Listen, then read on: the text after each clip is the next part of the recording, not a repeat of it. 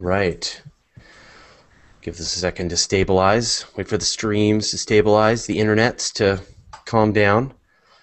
All right. Well, hi everyone. My name is Fraser Cain, and this is your uh, virtual star party for June second, 2013. And we've got a uh, a very restricted group tonight, so I'm not sure we're going to be going for too long. But we've got four astronomers. Well, three and a half astronomers. Well, two two astronomers for sure. One whose focus is a little off. The other one who's got some forest fires. One who's got to go to work shortly, and one who who we can't hear him. But but we're going to do the best we can to uh, to put on a show with uh, with what we've got today. Um, and everyone else is uh, busy or rained out or hurricaned out. So uh, so let's get to introduce everybody who's here. Um, we've got, so we've got Andrew Dumbleton, who is the one who's going to be heading out to work because he's in the uh, United Kingdom, but he's bringing us a beautiful view of the moon, even though it's like daytime, a daylight moon. Oh, you've put it right into your uh, right into your lower third, which is great. So, hey, Andrew. Morning, Fraser. I Good morning. you a bit there. So, what time is it there for you? Uh, we're about ten past five in the morning, so it's it's bright daylight, as you can see. Yeah, and so that moon that you're going to be showing us in a second is definitely going to be bright daylight. And so feel free to uh, to check out and uh, go to work when you need to. No problem. We won't hold it against you. Will do. Now we got Bill McLaughlin. I don't think he can hear us, so he's uh, working through some kind of technology issue. So we'll uh, we'll sort of when he says, "Oh, I can hear you," then we'll we'll sort of get him up to speed.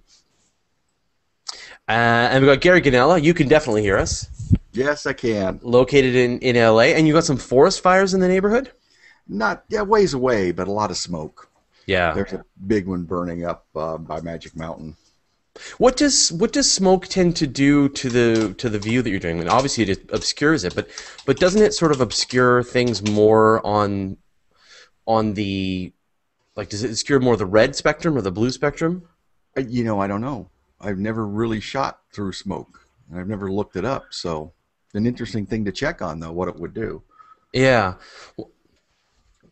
Well, I know My that- headset is working. Um, Oh, there we go. microphone seems to be working. I'm getting sound from my system, but I'm not getting anything from Google Plus. we can hear you. But Can't even tell him. but he can't hear troubleshoot. us. He can't hear that you can hear him. He can't hear that we can hear him. Yeah, yeah. So maybe I should I should put a Tried the on lower- speakers, doesn't make any difference. I'm gonna have to mute you, Bill. Yeah, you can't hear from the speakers. Anyway, um, uh, and then we got Roy Salisbury, who's uh, located in Las Vegas. there we go. Old There's a sign. For, Turn on that. turn on, turn on the chat, Bill. we can talk to you there. Um, Roy Salisbury in uh, Las Vegas, Yes. operating remotely his uh, super observatory from uh, a state away. Yes, these super You're in another state. bunker. So how's now? You saying that you're having a bit of a focus issue tonight? Yeah, I'm having some problems getting a, a focus locked in for some reason. I don't know what it is, but I'm working through it. Yeah. Well, we'll we'll sort of see what uh, as you work through it. We'll see where we get. Like I said, this might be uh the shortest uh, virtual star party ever. I, um, and then I know that uh, all a lot of the folks on the East Coast are all totally rained out. Um, Scott is in Hawaii right now, and uh, and and others are busy. So, all right. Well, I'm gonna get first. I don't know. Did, did we lose Andrew's moon? All right. Well, then why don't you show us? Tell us what object you're looking at, Roy. Uh, this is M108. It is a galaxy.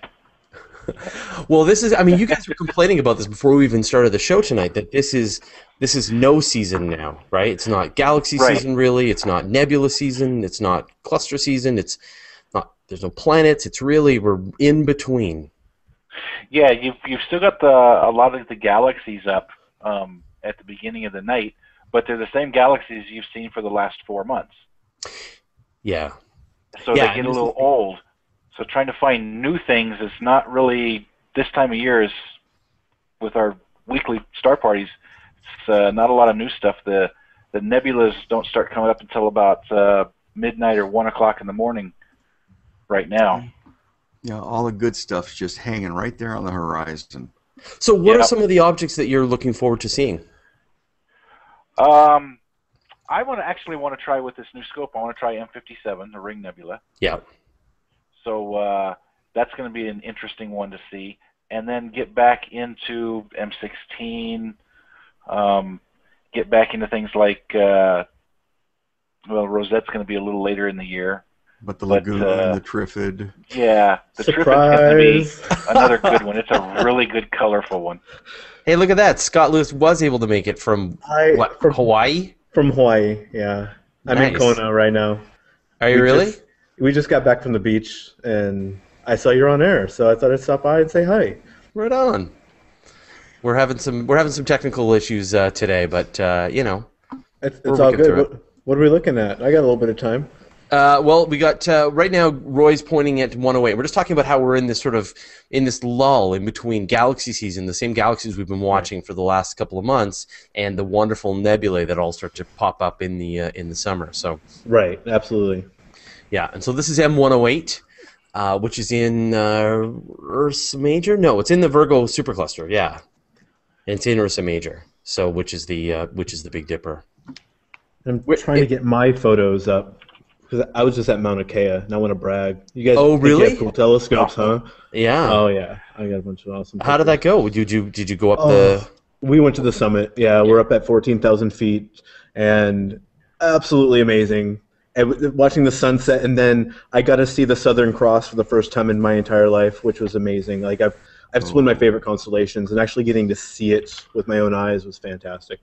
That's great. Now, Thad last week was saying that if you get up to that altitude, you actually have a difficult time seeing the stars. Were you having any problem seeing the stars?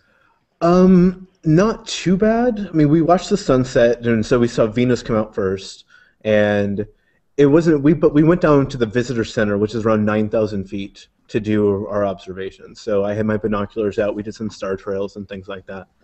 But, uh, but no, the the skies out here, man. Oh Aha, wow. There we are. Oh, the skies are gorgeous. Like, what's light pollution? I they don't have it out here at all. Yeah, yeah, yeah. I know it's just going to be phenomenal. I'd love, I'd love to go back there and, and do it. But I, you know, I remember when we were there. You know, your car rental companies won't let you drive up there because it totally voids the contract. How was the road going up there? Uh, It wasn't too bad. I mean, we had a four x four, so we had a jeep. Yeah. and so yeah, it was it was fine going up because there's only maybe maybe two and a half miles until you have paved road again, and then Yeah. it's paved the rest of the way up, and it's it's gorgeous. And what kind And- of facilities do they have for regular folk? Like, if you want to go and you want to go to Hawaii and you want to visit the observatories, I mean, are there information centers? You know, Yeah, there's a there's a visitor center there that's open. They have hot chocolate because it's a little cold out there, yeah. And they have amateur astronomers out there with their telescope and doing star parties there all the time. Really? And so it was great. So they're doing a star party show while we were while we were just doing our own thing, looking at different constellations. You can see the Milky Way with your naked eye. It was it was just gorgeous. We're just, Well, I was uh, I went camping this weekend out on the west coast of uh, of Vancouver Island, Mhm. and my goal was to be able to see Mercury for the first time. oh yeah, Because right, and it didn't work out. No? It was just it was no, it's terrible weather. It's a it- the west coast is is just awful, and Right. uh, you know so sometimes you know it's known for storms. Like a lot of people go out there to watch storms. That's that's what you can see from the west coast of Vancouver Island. So uh, no, today though the the weather was beautiful. It's beautiful, you know, blue skies, and so it would have been good tonight to be able to see it. But I had to I had to head home. So so no, I brought all my my ast- uh, my uh, my camera, my sort of nice lenses. I was going to try and take some astro photos. Nothing. Mhm. No luck. Nothing? No love. Mm, Yeah. So trying to see if I can pull these pictures up, and they're taking their sweet time loading. sure. Well, bring them up when you when you get them. I want to For sort of move. Uh, so Andrew, I think uh, I'm I'm sort of show showing off your uh, stream of the moon right now. It's just beautiful. Yeah, it's a bit uh, it's a bit light. I'm losing a lot of contrast because it is daylight, but uh, yeah, it's uh, a lovely crater called Mare Humorum, which is the big one, and the the smaller one that's sort of imposed on it or superimposed on it is called Gassendi. Well, I don't think a lot of people realize, you know, that you can see the moon during the day. We've we've talked to people who've been like totally shocked and surprised that they can see the moon during the day, but it's such a bright object that Right. you know that it's no problem. You could just keep following the moon for hours and hours, and you'd still be able to bring it into the into the star party. Well, It's got such a ang- large angular size, and the albedo on it reflects so much light that it's so easy to see, even when it's daylight out. Yeah. Yeah, just fantastic. Uh, I'm going to move to Gary's view. We got uh, M81 and M82, Right. which is And those are also Ursa Major. yeah the spiral, and then uh, interacting with this one, and you can start to see a little bit of the bulge in the hydrogen alpha on a full color. This is quite uh, colorful, sticking out in red. Turn it to Scott. Say more about it. I, I'm still looking at a completely different window. Okay. uh, yeah, bring up bring up your photos. I'm gonna sort of I'm gonna bring up a uh, I'm gonna bring up a sort of a Hubble version of M81 so people can see what it looks like. Um, and compare and contrast. Compare. Uh, yeah. So you can see here. So that's M81. This is from Hubble, and obviously, you know, Gary's view from his uh, his light polluted uh, observatory. But you can really make out that same structure. So you can see it's got these these spiral arms above and below, and that really big galactic core. And then here's Gary's view. It's a little twisted off to the side, but you can still see those those two spiral arms, that Oh, really yeah. beefy galactic core, and then off to the side is is M82. see if you can grab Hubble's M82. Yeah, I will. I will. Um, It's so beefy. and so these, I think these two are, are interacting, right? Yeah, M81 and M82 are. Um, yeah, so M81 is the bigger one, M82 is the smaller one, and the 2 Mhm. are are interacting. Right. Uh, but the amazing thing about M82, and I'm, like I said, I'm going to bring this one in here, is just this. Especially, you can really see the kind of the, the starburst that's going on right now. Um, yeah, check this out. What? That work? Oh wow, yeah, yeah. Yeah. So that's amazing. oh, no, Um, we're back. losing people. yeah, yeah.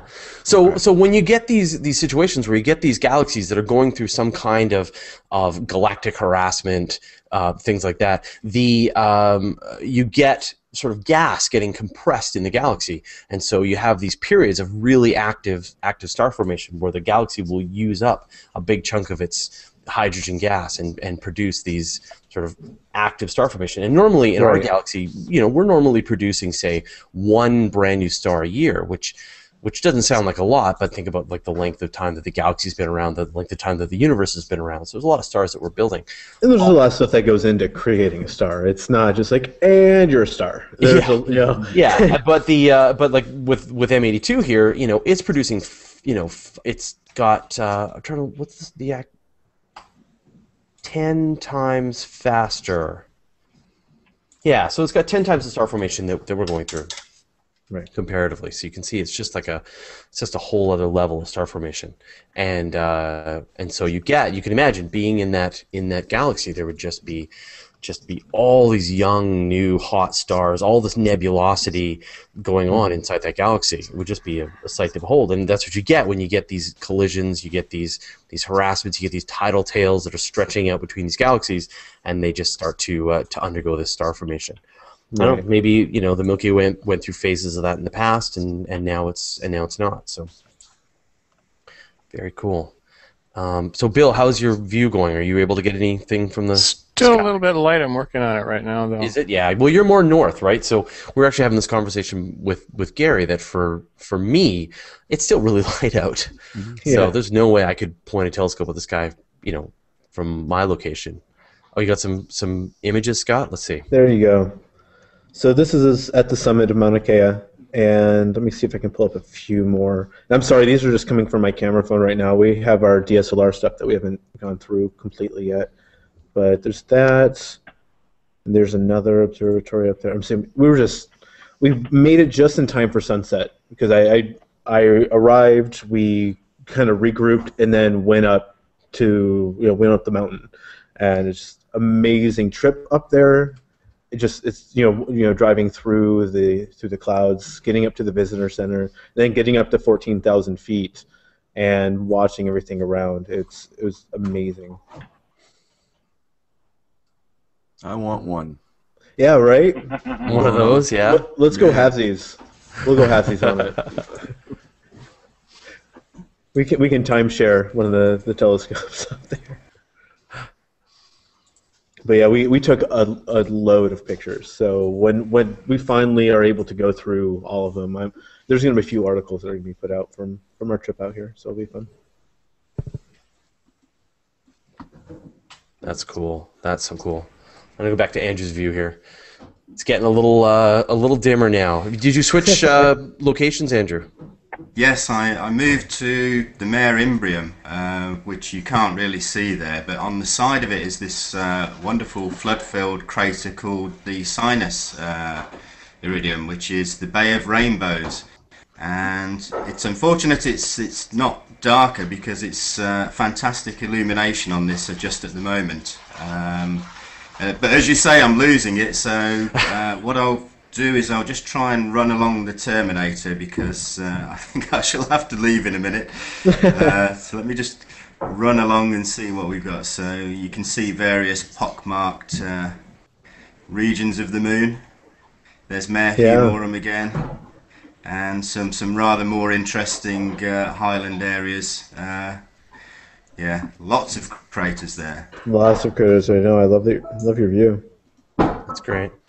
And so, if the term Terminator is the uh, is not uh, about a uh, a robot sent from the future to kill John Connor, it is a Yes, it is it the line, but it's both. It is the line on the moon that sort of is separates the dark side from the uh, the light Right. side. So it's the line of shadow Right. across the moon, and that, of course, moves across the moon over the course of the lunar month. For us, it's going right to left always. That's just terrific. Okay, I'm going to move to uh, to Roy's view. What is that? Is that the sombrero? No, this is uh, NGC 4217. I believe some say it's like a, a companion to M106. So what was it? Uh, NGC 42. 4217. Yep. I don't think we've ever seen that one before. I'm, that's why I'm trying to find is things that I've never taken a picture of. Yeah. so companion galaxy to M106. And 106. Yeah. Yeah. That's really neat. Let me find another picture of it here. They all And kind of look I've like got to get running, guys, but I did want to stop in and say hi. All right. Well, con- well, congratulations on your awesome trip. I hope you have a bunch more pictures for next week. Oh yes, I'll I'll have a bunch put out in the next week or so, and so have fun, and All right. I will see you next week for the virtual star party. All right, man. All right, Cool. Bye. Bye. Yeah, I don't have a lot of information on NGC 4217. No, there's there's not a lot online. Not a, there's there's a couple of pictures, um, some really good pictures, but uh, no real detail. Yeah.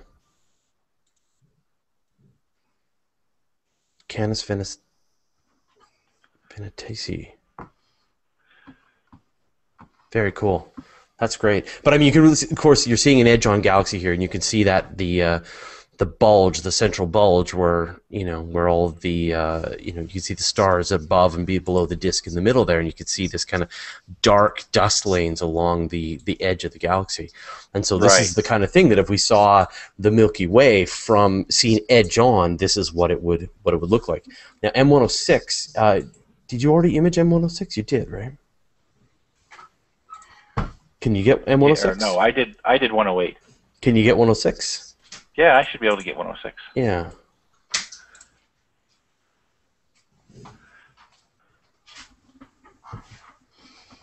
And so that's nearby in the in the same sort of in the same constellation. Right. And so you get these situations. I mean, so we have constellation, you know, we have uh, satellite galaxies around the Milky Way, right? We have the large and small Magellanic Cloud. We have various dwarf galaxies as well. And so, you know, these galaxies are in the process of being consumed, really. You know, in some cases, they, you know, they'll they'll orbit us, and we'll sort of the tidal forces will draw stars to and from, or they'll just get actually gobbled up, and and that makes the galaxy grow larger and larger. In fact, this is the process that's going to happen between us and uh, Andromeda in the next 10 billion years or so, because Andromeda is is heading directly towards us. And so, in about 10 billion years, the two galaxies will collide with each other and uh, and form a giant elliptical galaxy. I like how they say collide. Collide. I know collide is such a yeah, it's such a nebulous term, right? Because you know they're not actually going to collide. What you're going to get is you're going to get the situation that that the stars are just going to pass through each other, and um, you know the the the gas and dust though is going to collide and sort of meet in the middle, and that's what's going to sort of start off a whole new series of star formation in this in this combined object. Um, strange. The hmm, okay, the uh, system is not working. So. Um, just to let people know, you can you can make some requests if you want. You can also give us any comments or questions or feedback. Just go. You, if you're watching this on Google Plus, you can just make a post on my on my stream where I posted it in Google Plus. You can make a comment or a question on the event page, or you can post on the uh, on YouTube, or if you want, just on Twitter, use the hashtag Star Party, and we'll we'll get it there. Uh, let's see. Uh, BTL 743 notes that you can see the Terminator on the Phases of the Moon app. You can absolutely see the Terminator on the Phases of the Moon app. And in fact, we just released it a big update to the Phases of the Moon, which has high resolution. So before, as you expanded the view of the moon, the resolution got a little worse. Uh, but now we've put much, much higher resolution images. So now as you as you expand the the the moon, I'll sort of show you here this works here. So this is our app, and so I don't know if it works if you can see, but as you as you zoom in, it gets more and more high resolution. So you kind of can't.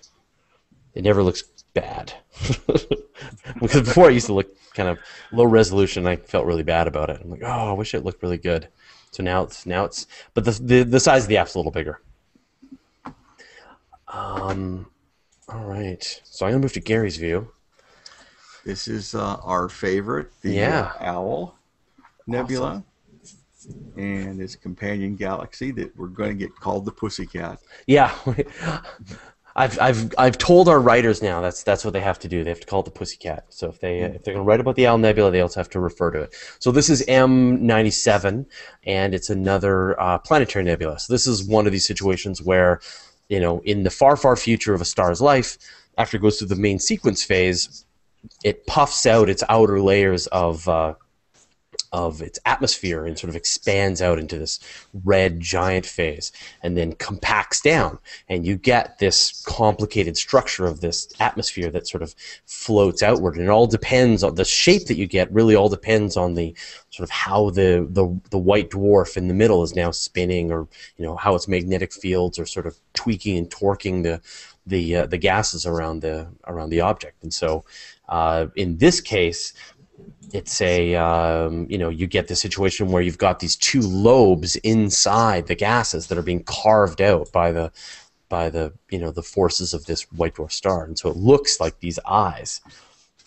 And I'm gonna and there was actually a really great um, description. There was the uh, the ring nebula which is you know one of our favorites and how the ring nebula is really um, a what is it? Like a a donut. It's actually a donut shape and it's been you know the gas and dust is getting carved out in this donut shape. I'm going to bring up another view of the of the owl here.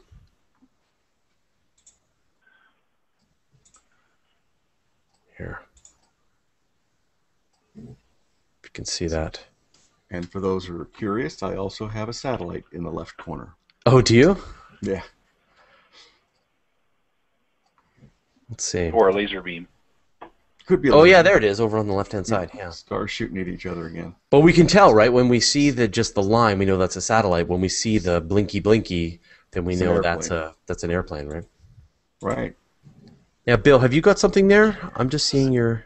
Oh, that's just yeah. I'm still too light. I'm afraid. I Yeah. don't know. It's uh, It's okay. not not so good here. So I'm just uh, waiting. Hopefully the uh, stars will get bright enough before the star party gets over.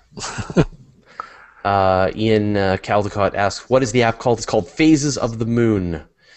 Um, Mike Perry's asking for the Ant Nebula. Do you know what the Ant Nebula is? That one doesn't ring a bell. Yeah, let me see. It's where is it located? constellation Norma. Is that in the southern hemisphere? Yeah, it's between Scorpius and Centaurus. So no, we can't get it. We, you know, we're all located in the northern hemisphere right now. So, is this a photograph or is this live, Gary? It's live. That's the Ring Nebula. This is our first ring nebula of the season. Hey, It's nice. just over the horizon. Oh, that's awesome. And You that's beat me to taken without any binning so I can get the maximum magnification on it. Oh, it looks fantastic. I was going to do it tonight, but he beat me. You still I can. did. You still can. beat you at something. That's fantastic. That's wonderful. but that's our buddy the ring. And Oh, I it love in that. my full full view. Um, what else we got? Someone wanted to see M5 or M13. Those should be up. Yeah, I can do those. Or Gary can. Yeah. Um, and M60. Someone's also asked for M61. 61, huh? Yeah, which is also in Virgo.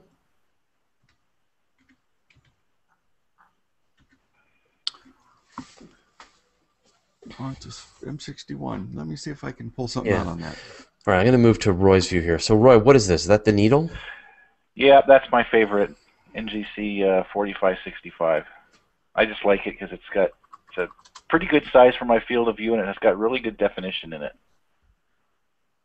Yeah, so this is uh, this is another edge on Spiral Galaxy. So it's really it's the same kind of thing that we were seeing before with that companion to M106, and so it's the same thing. You've got this this you know you're seeing the Spiral Galaxy, but you're seeing it edge on, and so you're getting this this dark dust lane along the edge there, and you can see the galactic the galactic center, the halo, just sort of bulging out above and below the the edge of the of the galaxy. It's great. That's really gorgeous, Roy. Yeah.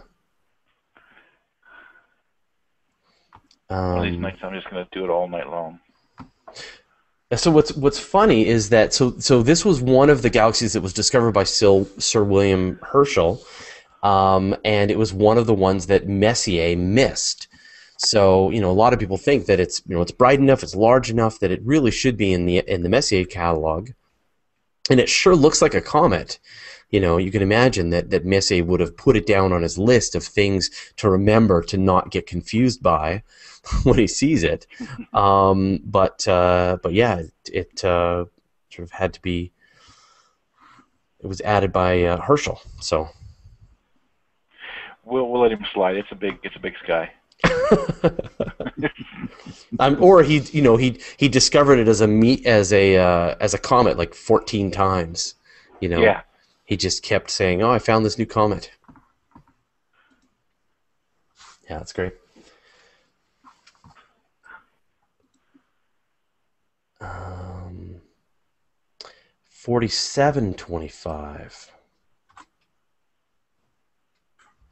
What's that?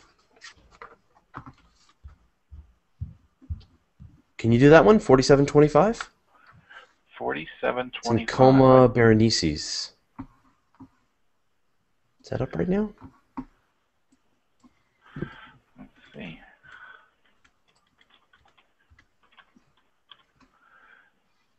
That should be up. Um, yeah. Yeah. Yeah. You want to try that one? Um, as soon as I finish this uh, M106, I'll Oh, swing sure. on over. Okay, great. It's an all request, all request night. Yep. That's gonna be very galaxy related. All right, I'm gonna move back to Gary's view. Oh, you're still, still still showing off the ring. Ring Nebula. Yeah. Trying to get the um, the exposure on M61. I, I yeah, I, I really like the Ring Nebula. That you know, I have these these moments as an amateur astronomer, and this was one of them. Was seeing the Ring Nebula for the first time because like you see it in this book, you look it up in the sky, and you find this object, and there's you know, this is what it looks like. It looks like that in just in your eyepiece under you know, it's teeny tiny, but it's definitely there, and you definitely see this view. It's just wonderful. For me, it was the uh, the dumbbell nebula Yeah. that looks like an apple core. Well, I, mean, I guess it depends on when you got your telescope, right? Like I got my telescope in I think June when I was like 13 years old, and so the first things I saw and learned to observe was the Ring Nebula, M13, um, uh, and then Saturn happened to be up, and so I was able to get Saturn at the time, and the Moon, of course. And then, you know, as I went into fall, but all of my observing was really done over the summer because here on the West Coast, it just it's awful in the winter. It's, we never get any real clear nights and Um, cold. quick note, right here. I'm pretty sure that's a cosmic ray. Oh, really? Yeah, yeah, I get them every once in a while, and that one looks like it came in almost parallel with the sensor, so it looks like it ran through and hit a bunch of pixels. Wow. Yeah, a drunk so, alien in his spaceship. so cosmic ray hit my detector. So you've got like a cosmic ray detector. Yeah, yeah. In fact, that's uh, an interesting thing. The astronauts in the space station uh, see the flashes with their eyes closed when the cosmic rays hit their eye. Yeah. Uh, so um, now we did a whole episode on astronomy cast of about cosmic rays, but but these are actually particles. They're not they're not rays like sun you know sunlight. They're not in the visible spectrum or gamma radiation or X-ray. They're they're actually particles that have been accelerated to sort of massive energies, and they're traveling at almost the speed of light. Yep, and they hit everything. Well, I mean, they, they actually sort of smash into the atmosphere and then they get kind of exploded by the atmosphere. And so they have these uh, these great systems of detecting them. So if you want to detect them, you want to be out in out in space. But they have these great uh, detectors. Um, what are they called? This HESS, but they can they can see the sort of cascade of particles that come through the atmosphere when these cosmic rays smash into the atmosphere, and they can detect that and then sort of track back. And so I think the uh, the source. What was the source of cosmic rays? Um,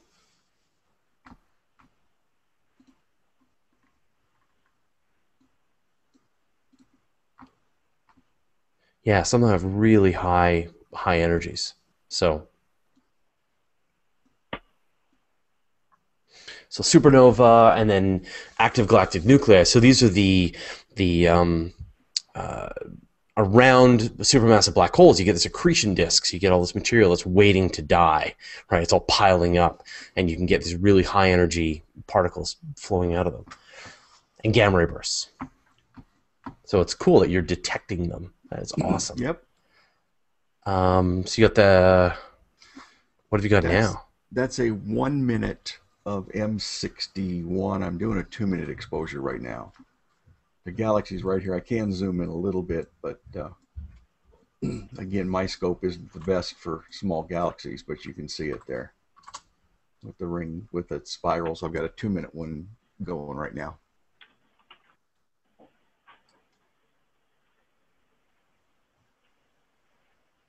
Yeah, it's definitely a very interesting galaxy, though. I'm going to get a view of it from Spitzer for you.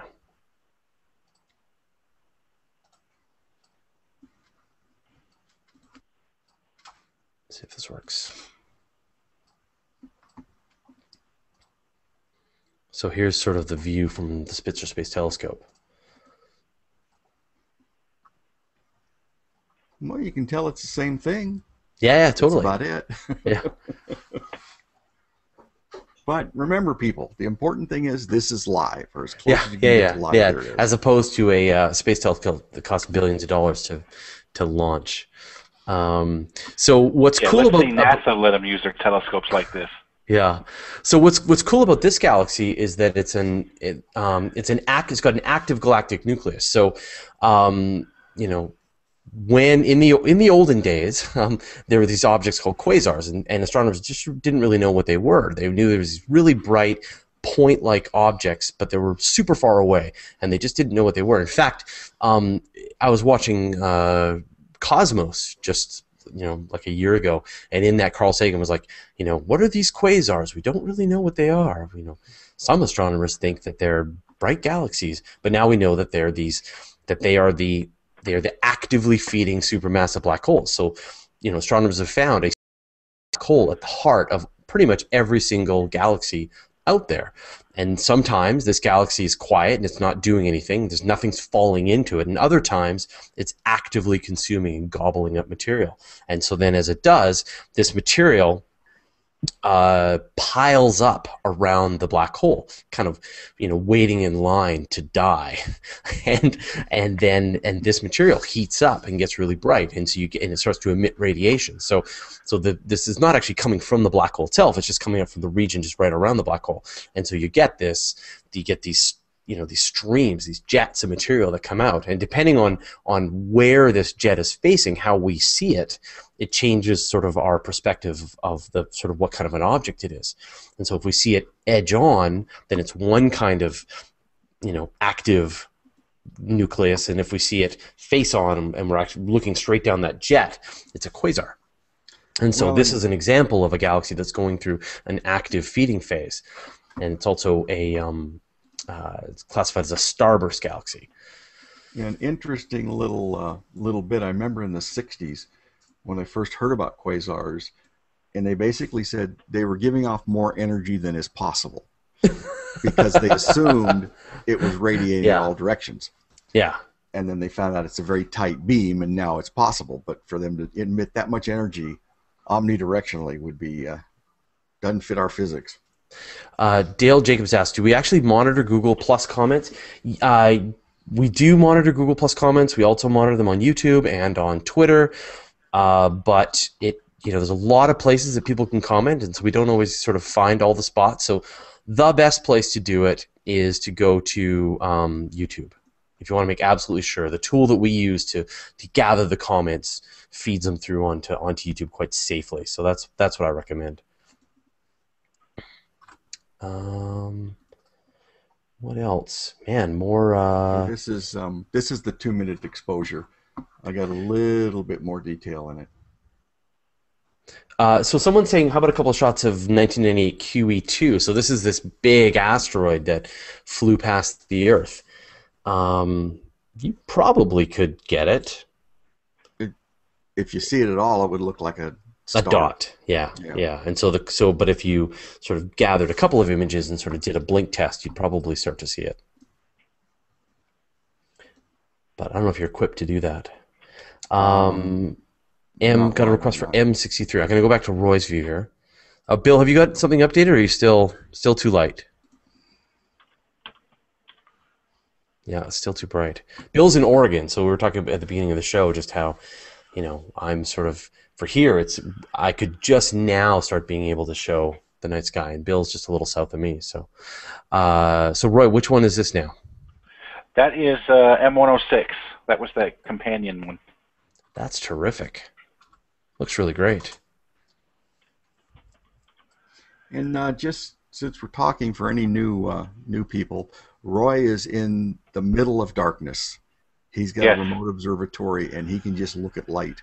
I am in the Los Angeles light polluted Yeah. basin, and I shoot with uh, nar- very narrow band filters. I usually use hydrogen alpha, which is a red light, and it cuts everything else out but that light. So I see all the excited hydrogen in the universe. Uh, if I try to take anything with normal, uh, you know, without the filters, I just don't get a good picture. But Roy has a very dark location, and it makes a big difference. Yeah, these are these are three minute luminance images. So just by I mean, just by the fact that they're letting pretty much every bit of light through except for infrared, and I don't get the washed out background, you can tell how dark it is.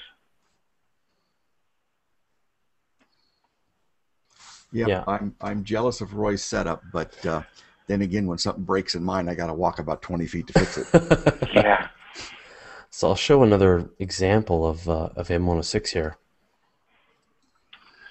Again, not not to compare, but so that's a view from um, Hubble, I think.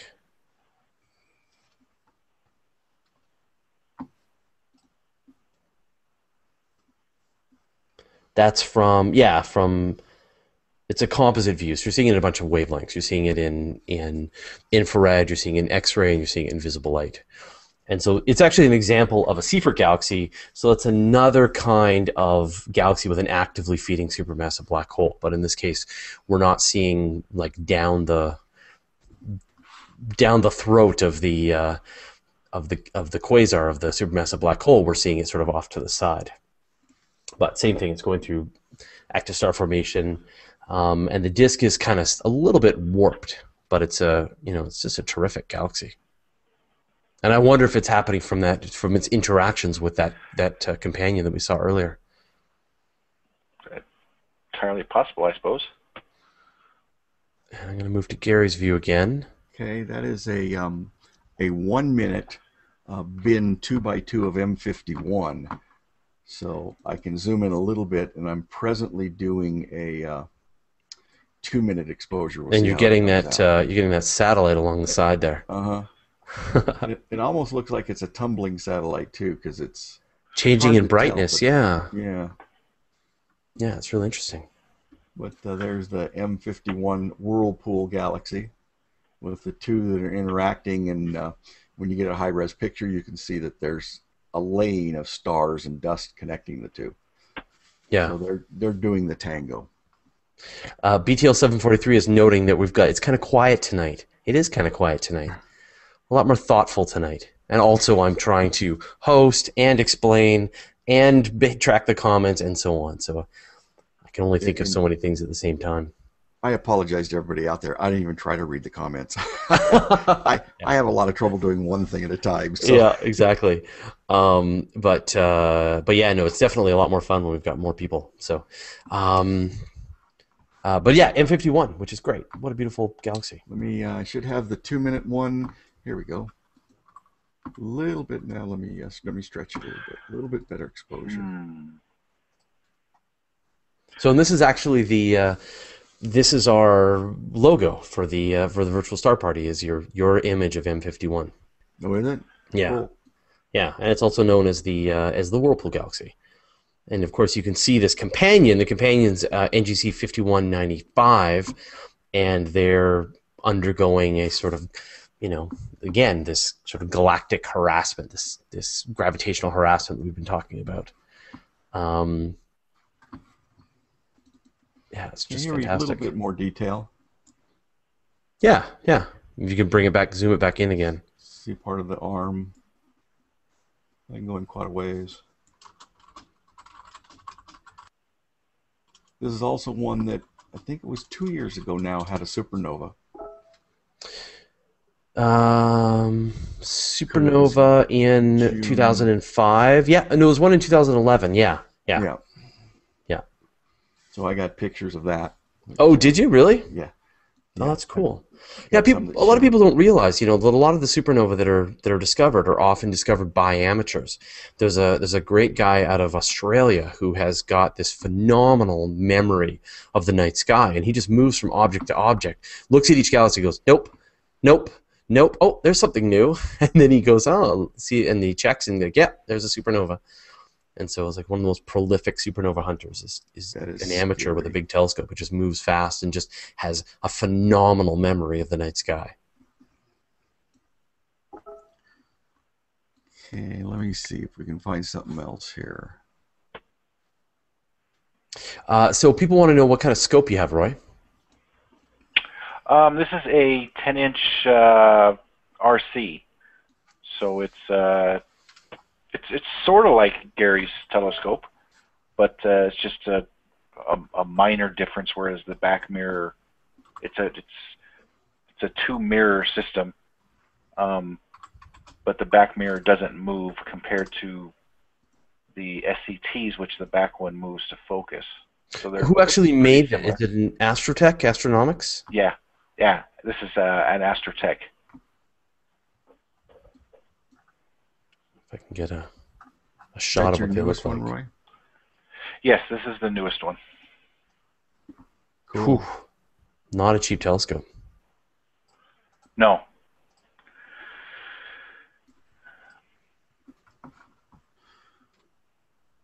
I'm trying to find Of something else of interest, and I'm not having a lot of luck here. Well, we had a couple of requests. I'm, I don't know if we if we've already Okay. done them all. M61 we got. What else we got? Uh, well, somebody wants um. So Quinn Fitzpatrick wants to know how wide is, is your view, Gary, in arc minutes? Uh, it is just about one arc minute high by one arc minute wide, one and a half wide. Arc minute or degrees? Degrees. Yeah, yeah. Degrees, And, a, and I'm a sorry, degree yeah. is 60, 60 arc minutes, 60 right? arc So minutes, yes. yeah, Um, so it's about 60 by 90 arc minutes. Uh huh. Yeah. It's like 63 by 92 or something like that. So real close. So Um, it's a wide angle. yeah. Uh, let's. And you, what have you switched to, Roy? That is uh, the requested uh, 4725.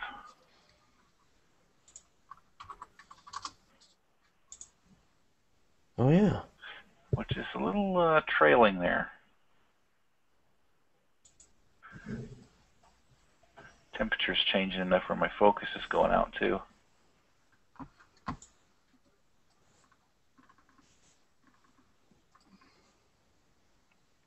What's your uh, field of view on this scope, Roy? This one is oh, that's a good question. I can always I always forget. So This so the one neat is uh, 31 by 23 Okay. degrees or minutes. Minutes. Uh, uh, so the neat thing about this one is it actually has one spiral arm. So you can't quite make it out in in Roy's view here, but like with the with the Milky Way, it's got these it's got these two spiral arms, right? It's got the you know like this, right? I don't know if you can see it, um, but this one it's actually just got the one that sort of wraps around it. So I'm not sure what happened to the other one.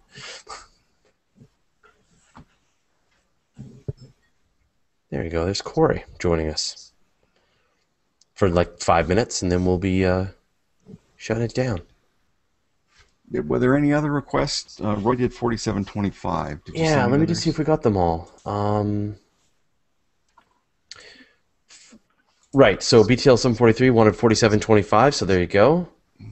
Um, Miguel Zepeda asks, I have a Celestron SE Nexstar 8 SE. Can I get those galaxies and stuff you show here? What camera do you recommend? So absolutely, you can get these objects with that with a with an 8 inch Nexstar. Uh, no no question.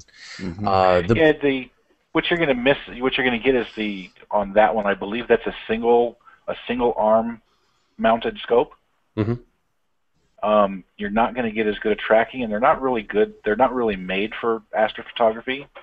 But uh, sure, you could get some some short exposure stuff with that. You know, yeah. 30, 60 second exposures should be fine. I don't know. I guess I'm kind of a uh, old school guy on that uh, on the subject of astrophotography. Uh, there's so many people I see, and including myself, that go through endless iterations of equipment and wind up spending five times what they should instead of, you know, buying the really solid mount uh, in the first place. Uh, Right. But it's it's hard to predict how much you want to spend on a given hobby when you're getting started. So I, it can be difficult. Uh, you know, do you buy the cheaper stuff and you know just dabble, or do you buy the more expensive stuff where you're going to be less frustrated? it's a difficult thing to to know. I do have something up here now. Oh, okay. It's a little bit uh, faint and fuzzy. I got another one I'm working on right now. Uh, it's uh, NGC 4244. So it's another edge on spiral. Edge, nudge edge on spiral. It's in Canis Venatici, also known as Caldwell 26. What was it? 42, 44? 4244. Yeah.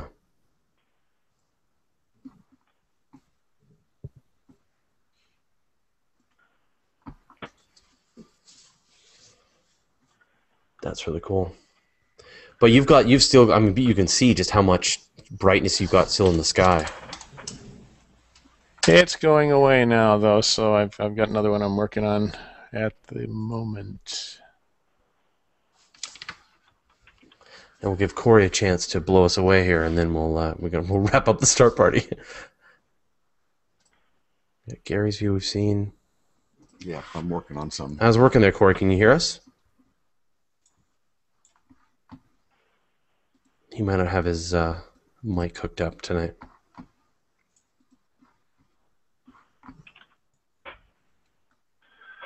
Let's see. Do we get everyone's requests? I'm gonna try a, uh, Um, a one of the globulars and see what I can do with M80. Someone wants M80. Yeah, and somebody wanted M13. Yeah, that's why I'm doing M13 now. Okay, great. I think we'll make that the last uh, the last couple objects. I should have one more to squeeze in here. Sure, that'd be great. I'm gonna let Corey squeeze one in unless he can't hear us.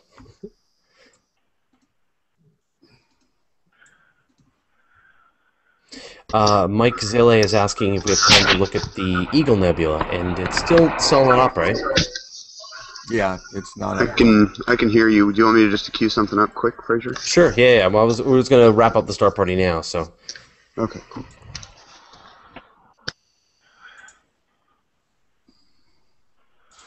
aw, another Ring Nebula. There's my ring. Needs a lot more exposures. it's great though. You can start to see some of that kind of that nebulosity in the middle. I mean, it's not it's not just a ring. You also get this sort of really neat color right in the middle. Right. This was only 60 seconds, so there's a, there's there's a lot of noise in it still. Yeah. All right, I'm gonna see Corey's view here. What do you got, Corey? 81 and 82. My guess, yeah. Yeah, and there's more in there too. You can see another galaxy up at the top. That's great. And then Bill, which is this now? That's NGC 5907. Another edge on spiral. Another edge on spiral. I'm just boring tonight. and I've got a uh, I've got a color one of it. I'm in, in a different scale. I'm going to bring up here in just a second as soon as I get it base processed. What what method are you using to bring up the color images? Uh, that's just DSLR. The uh, the one you're looking at now is a uh, TOA 130 with a uh, 11,000. Excuse me, a um, a uh, ST SBIG uh, STT 8300. Um, and the color one here is a uh, Canon uh, 5D Mark III on a uh, Mm. Stellarvue refractor. And so you just have that's right. I remember you had sort of all these telescopes on the same mount, so they're all just right, yeah, they're all on the same mount. so they're all viewing the same object, and then you can just switch the the view. Exactly. Cool. And Corey, what have you got there? Is that Vega?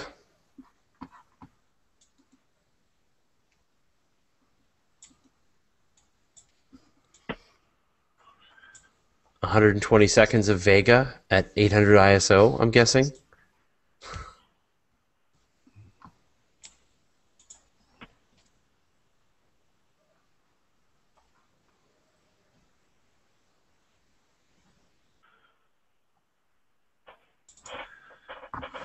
That's really cool. All right. Well, I think I can see where this is going, so I'll let, I'll let you uh, start to bring up that last image, but I'm going to start to wrap stuff up now. So looks like we've got everyone's requests. Uh, sorry we weren't more active tonight. Uh, we left all our silly astronomers at, uh, at in other places tonight, but we'll get some entertaining people for you guys next week. So I won't have to be explaining and uh, running the show at the same time. So, uh, Roy, have, have you? Is that still the same one? You haven't done an updated process on this yet. Nope, I'm downloading M13 now. But it's gonna take a All right. minute or so. All right. Well, we'll get the we'll get a view of that as soon as we can. Um, and Gary, thank you very much for joining us tonight. Okay, this is M80. You got M80? All right. Let's see. And I just brought up a color uh, image of the same thing. Oh, great. Oh, it's really nice. I love the color views. Smaller, smaller scope, uh, so a smaller, you know, Yeah. But. Yeah, that's terrific. And Roy, thank you again. Uh, you're sorry, sorry you're having these focus problems tonight. Yeah, I just got a little teething problems. Just gotta. But is this something you can worked reach out and, and handle remotely, or do you have to? Oh yeah, Oh, okay, yeah, I can all do it all remotely. It's just uh, I got to get all my software all reconfigured for the cameras and the scopes. Yeah. And Yeah. yeah, and I wish I wish I could have been more help tonight, but uh, the the sky doesn't want to get dark. No, uh, I know. We're gonna. It's gonna be another couple of months before we I've can got a friend of mine coming over next week to do some imaging, and uh, he said, yeah, he's coming over for the 20 minutes of dark that we actually have this time of year. Yeah, yeah, and I get even less. So by like on the 21st, it's it's pretty much light until 10 o'clock for sure. You can get around at 10 o'clock at night. Our astronomical twilight uh, tonight starts at about 11 o'clock. Yeah. Yeah. No, it's still a little bit blue in the sky right now here on the west coast. So.